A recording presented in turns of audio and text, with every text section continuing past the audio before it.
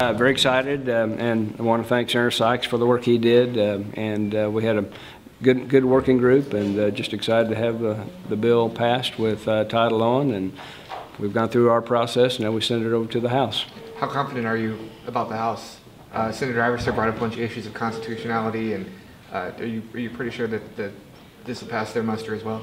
Uh, We got a process to go through, so um, I'm- I think uh, we put a lot of good, hard work into the bill, and confident that uh, we'll have uh, positive results in the House. I'm not surprised at all. I mean, we've got, our, our workers' compensation rate, compensation rates are too high in the state of Oklahoma. We need something to bring them down. But this is a bill that does it solely on the backs of the working people.